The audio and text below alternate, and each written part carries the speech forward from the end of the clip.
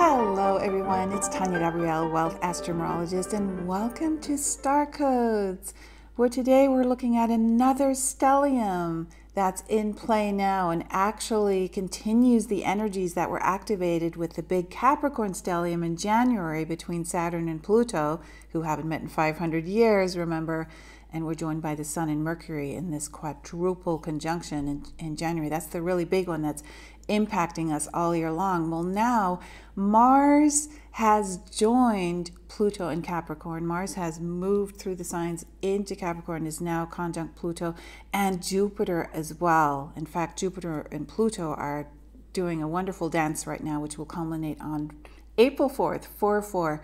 So it's really heating up. And Mars, of course, is the ruler of Aries. And this triple conjunction happens at the exact time that the sun enters Aries and starts the new season. Spring in the northern hemisphere, autumn in the southern hemisphere. So we have a huge Mars impact because of the emphasis on that planet's movement into the whole storyline, the Capricorn storyline, taking part in it now at the same time that its own sign is lit up. Now, this is happening on March 19th or 20th, depending on where you are. So, by the time you watch this, the equinox will have happened.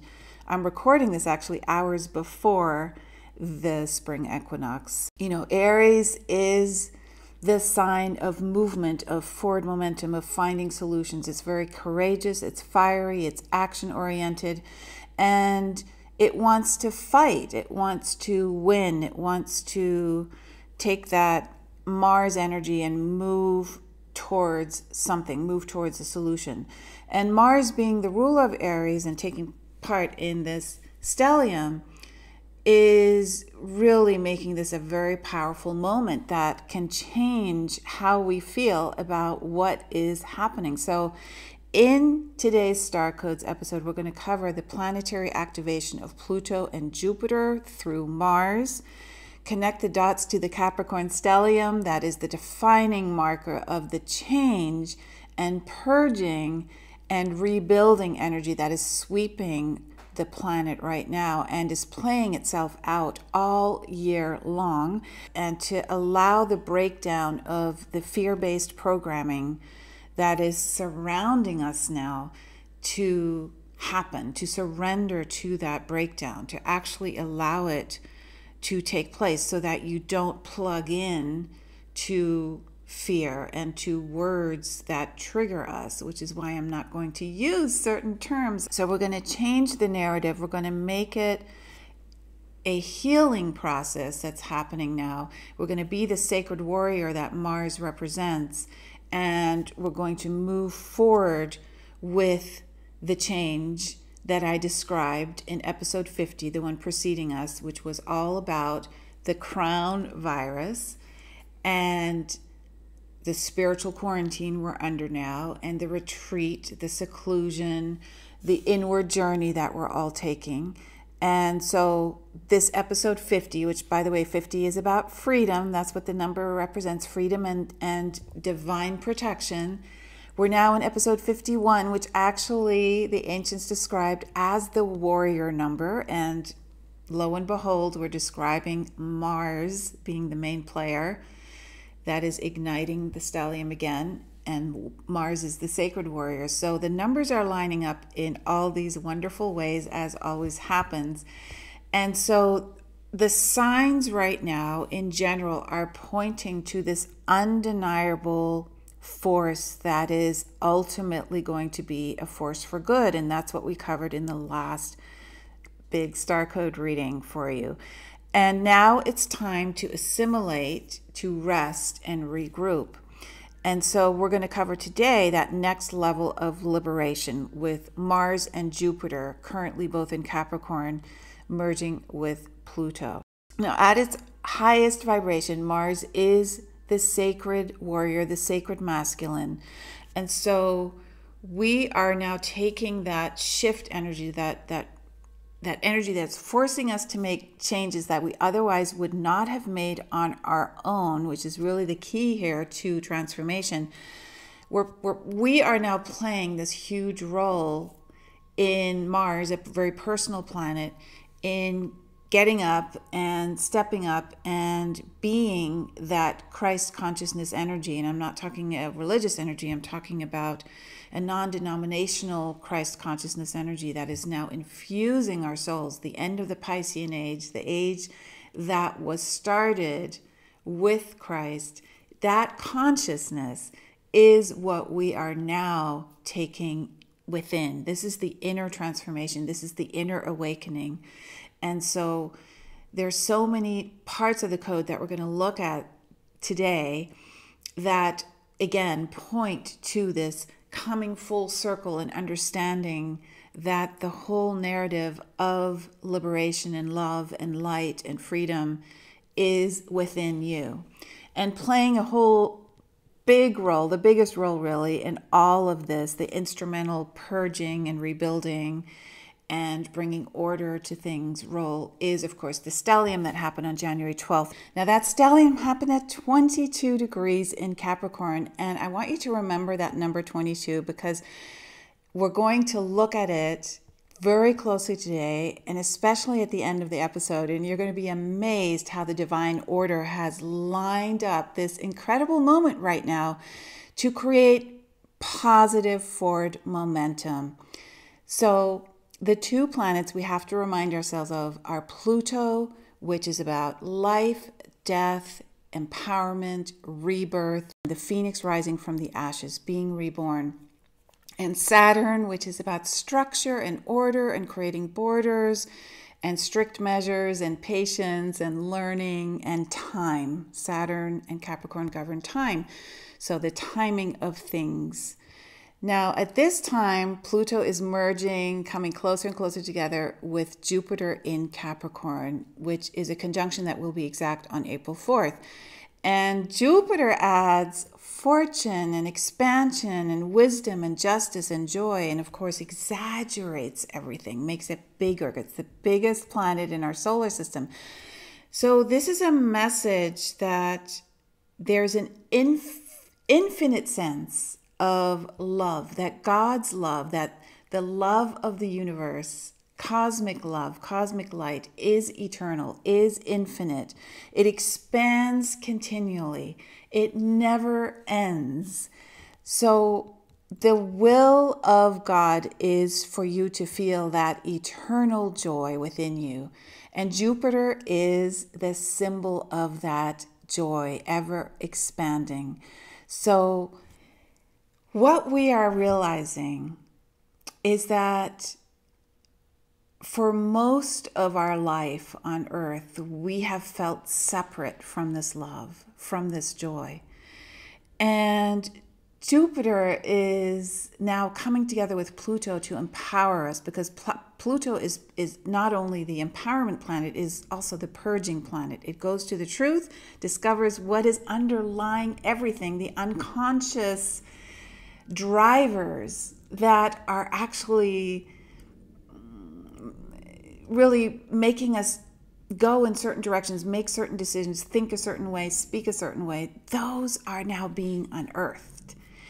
Remember that Capricorn is an earth sign, so it's being unearthed. And instead, we are going to plant new seeds in this earth and build new structures that are devoid, free from fear based programming.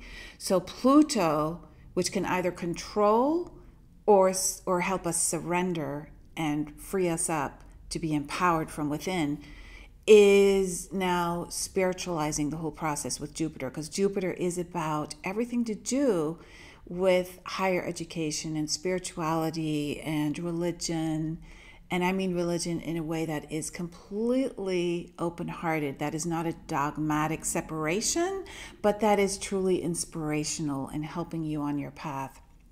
So Jupiter governs those beliefs, that philosophy, that higher learning.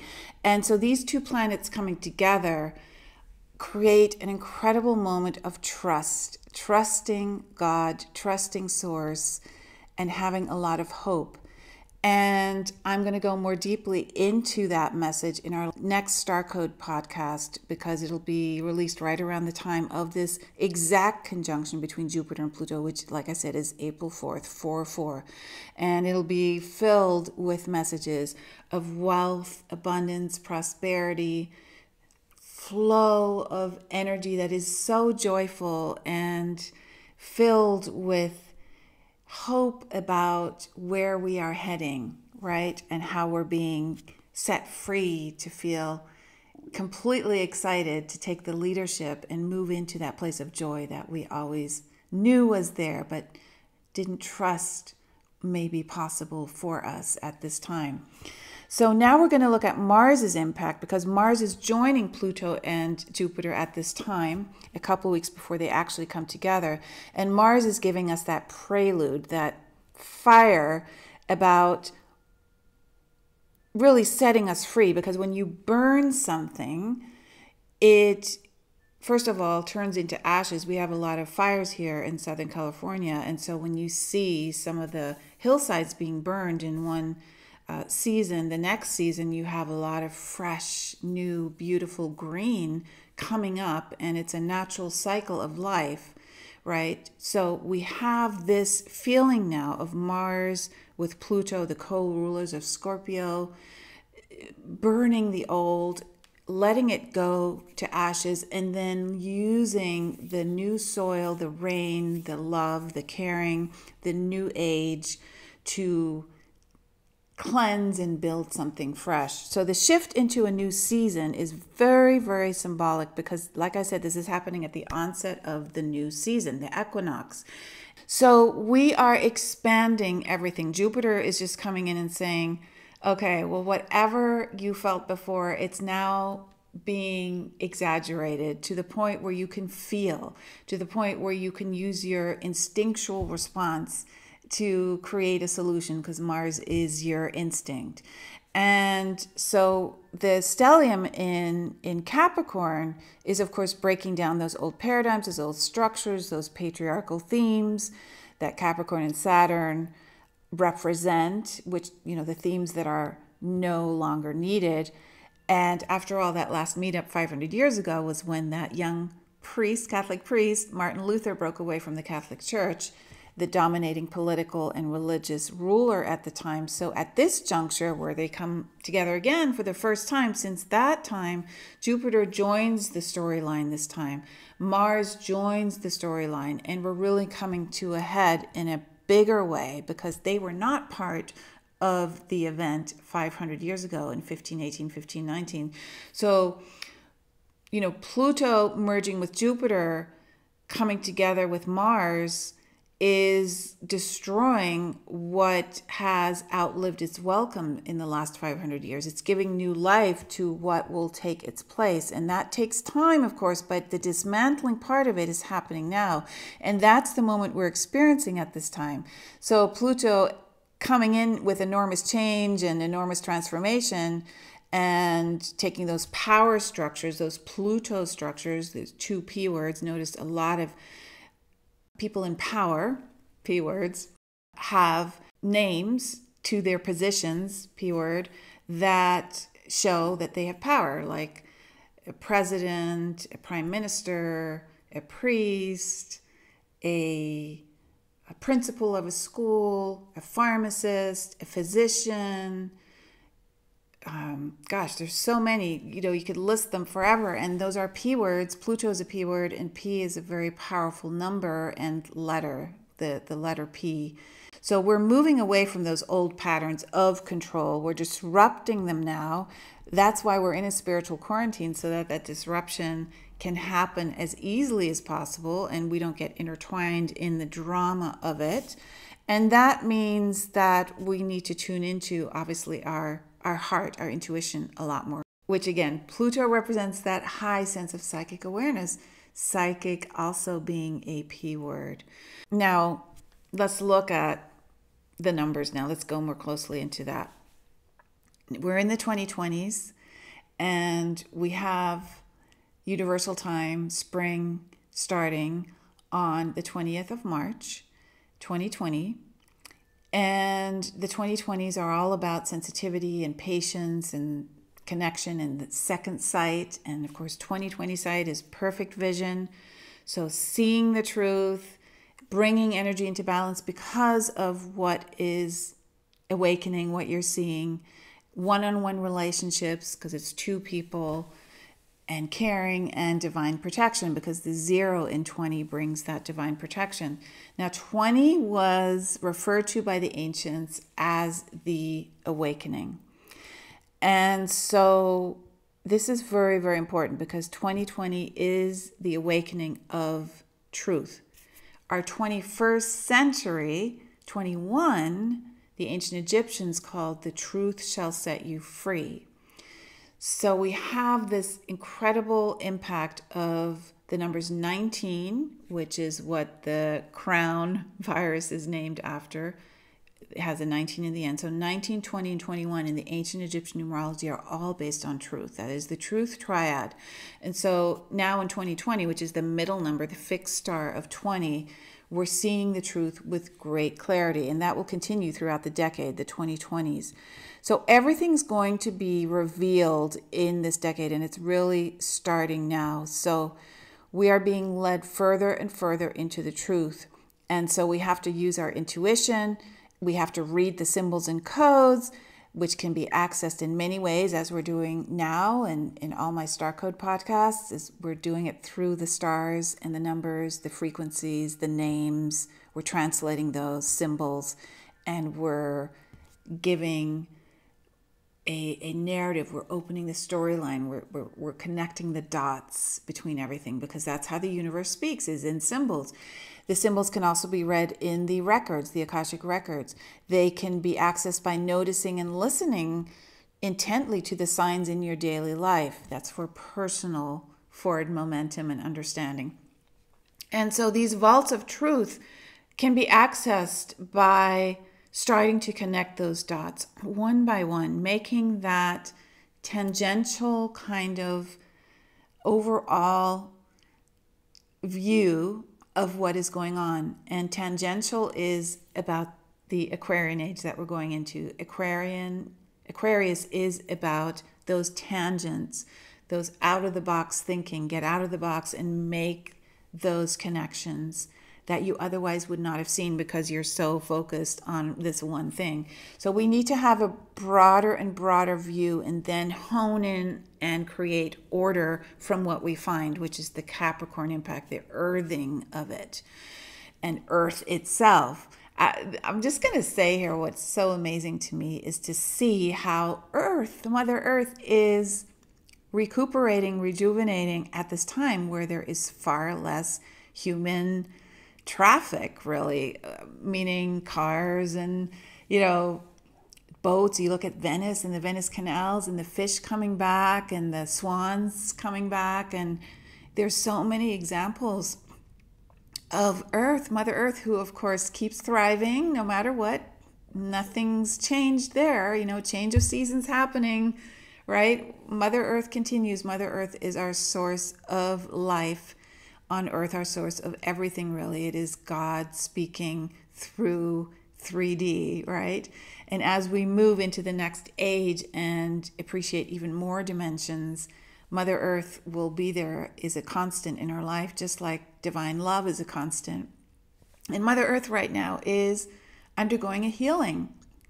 And so there's a lot of good that is happening that we can just be very, very grateful for because Mother Earth's replenishing and healing as we change into the new season and see the truth in a, in a deeper way. So, at the moment that our seasons change, the moment of the equinox, equinox meaning balance, Mother Earth is rebalancing, Mother Earth is healing, Mother Earth is blooming, is recuperating. And so this is like the truth. This is the truth. This is what we need to see. We need to appreciate the goodness that is coming out of this moment. And we need to also feel that sense of being newborn, just like a newborn child is just fully engaged and inquisitive and non judgmental. This judgment, this is the this is what's going, the the judgment of others and the separation from each other, this is no longer in play. This is the energy that, that is being dismantled and destroyed. And so Mother Earth is for everyone to appreciate at any time. There is no factor in terms of cultural or religious or political separation about living on Earth and appreciating each other.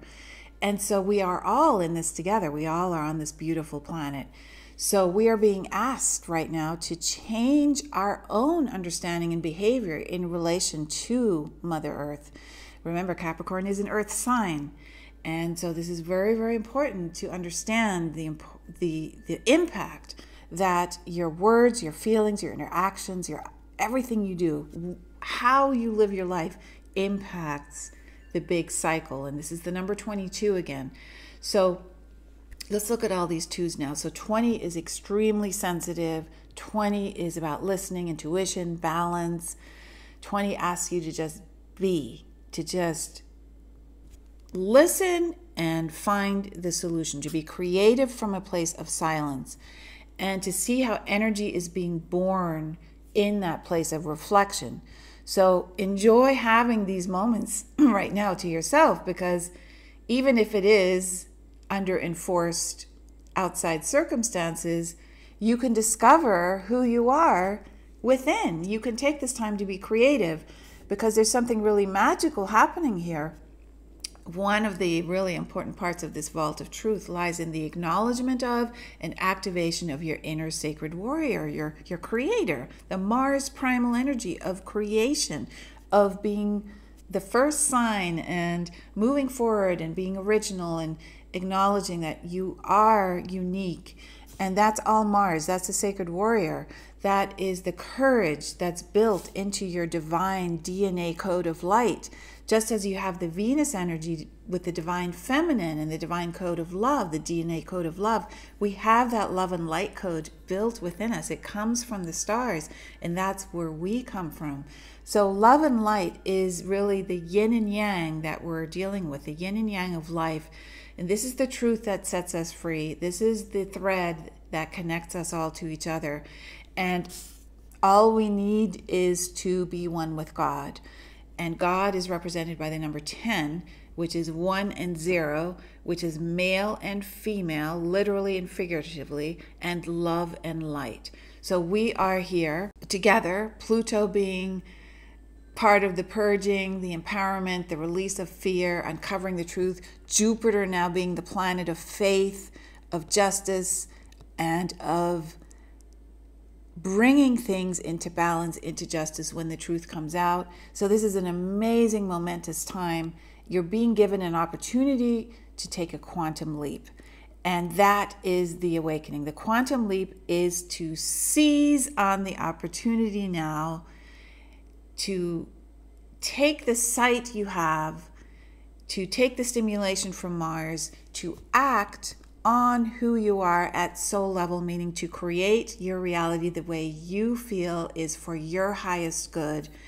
And when that triple conjunction of Mars in Capricorn, the sign of leadership and career and rulership and, and governing others, when that Mars energy comes in, it gives us the fortitude, the courage, the self sufficiency, the self determination of Capricorn to fire up with the tools we have and rise above it all because that's what Aries and Mars are about. Mars being the ruler of Aries, Aries being the sign the sun just entered for the beginning of spring and the beginning of autumn in the southern hemisphere.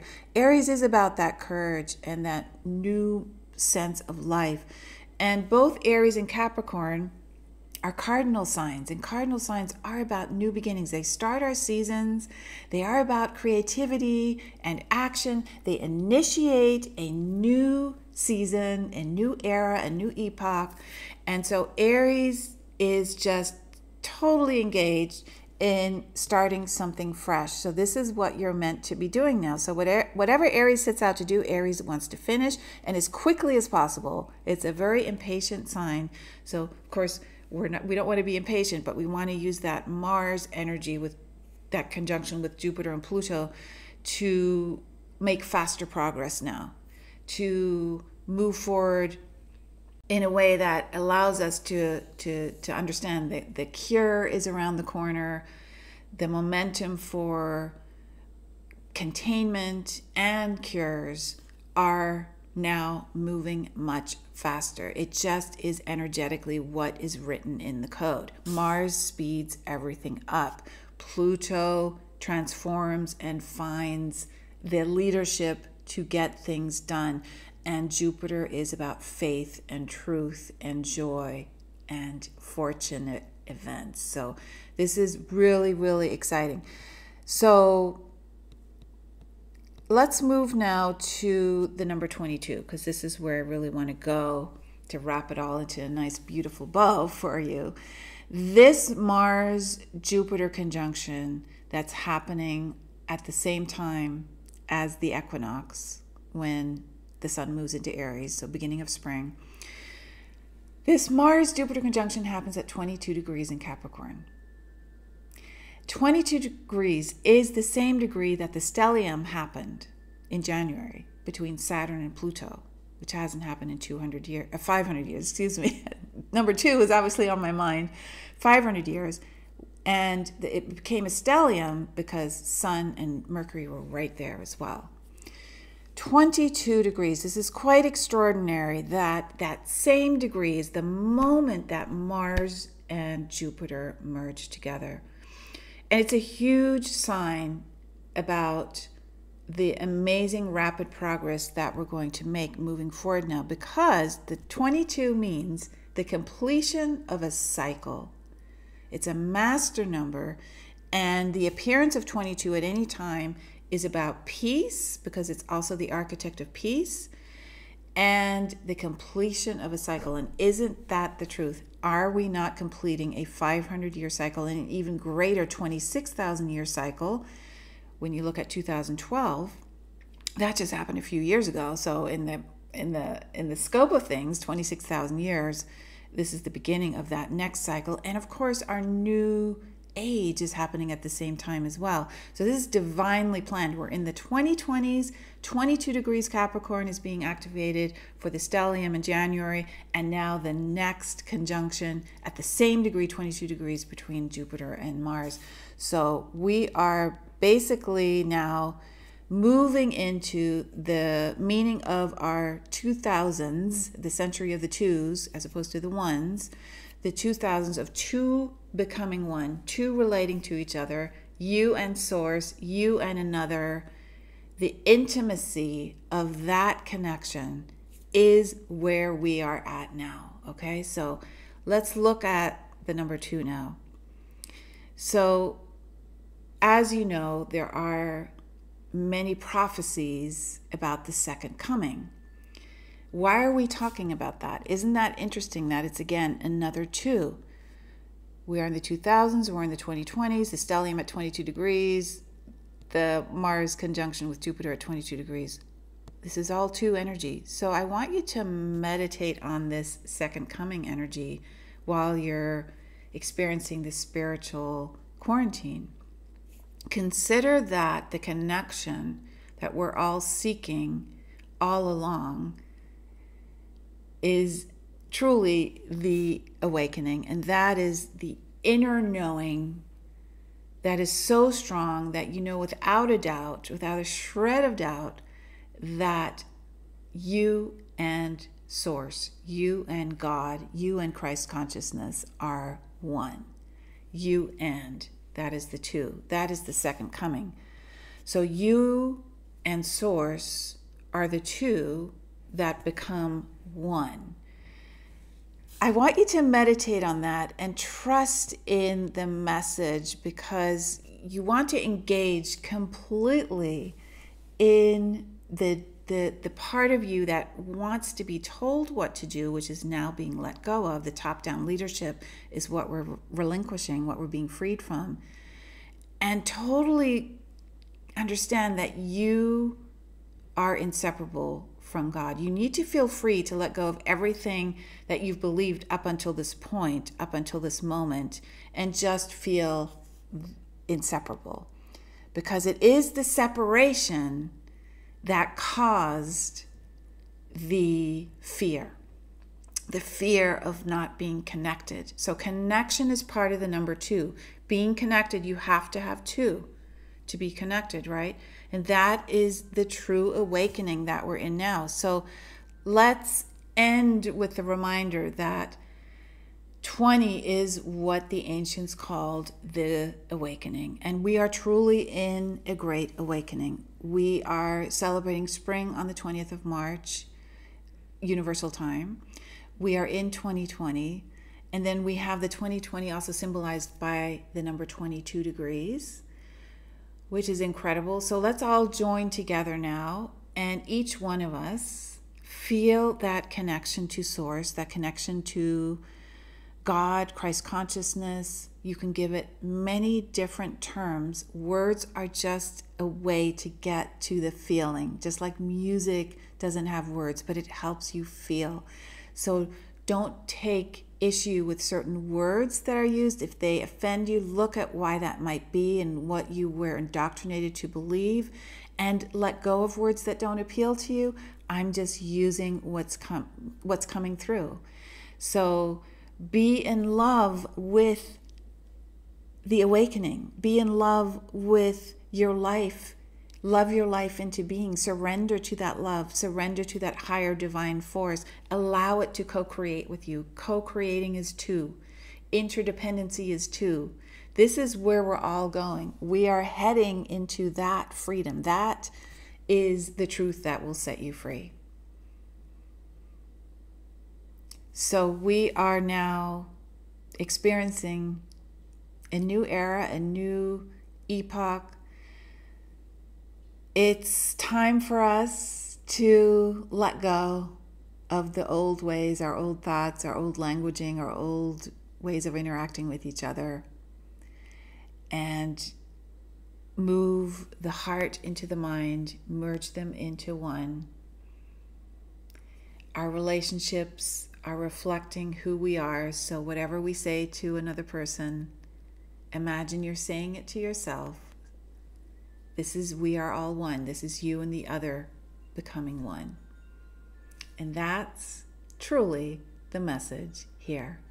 So we will continue every week with decoding the star codes. And if you want to decode your own personal star code, go to starcodeclass.com where I have a free webinar for you that describes your birthday and your birth name, and also the numbers in your astrology chart.